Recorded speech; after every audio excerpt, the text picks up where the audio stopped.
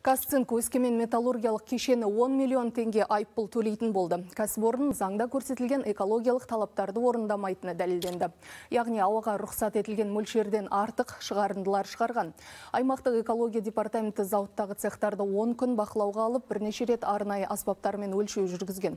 Нәтижесінде зиянды қалдықтар шамадан тыс бөлінетіні дәлелденді. Ауада азот диоксиді, күкірт қышқылы, формальдегид сияқты адам денсаулығына аса зиянды қалдықтар көбейіп кеткен. Мұны Қазгидромет орталығының мамандары да растады. Сондықтан құзырлы органдар кәсіпорынға айыппұлмен қатар зиянды шығарындыларды азайтып, экологиялық іс-шаралардың тиімді жоспарын құру туралы ұйғарым шығарды.